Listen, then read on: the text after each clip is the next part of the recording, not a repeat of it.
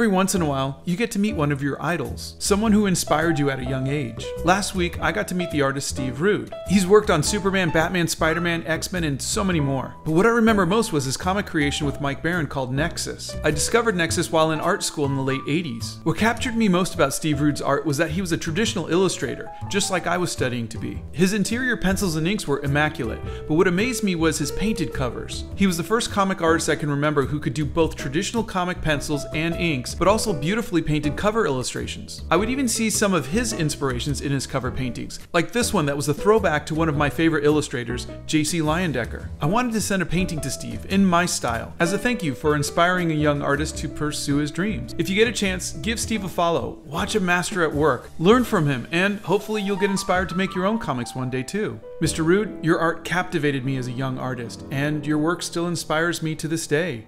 Thank you.